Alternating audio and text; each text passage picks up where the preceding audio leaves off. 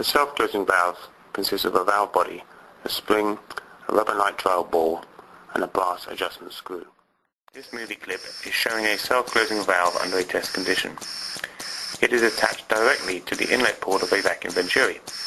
The vacuum cup is normally attached to the 3 8 thread shown. This test is simulating a vacuum cup that is not sealed against the load being handled. Because the valve experiences a vacuum airflow, the nitrile ball, which can be seen clearly here, is pulled against the sealing seat. This prevents the leaking cup from causing vacuum level decay in a multiple cup single venturi application. When the vacuum is turned off, the nitrile ball is pushed vertically by the internal spring to its reset position. This movie file is simulating a one second cycle time of a vacuum lifting system.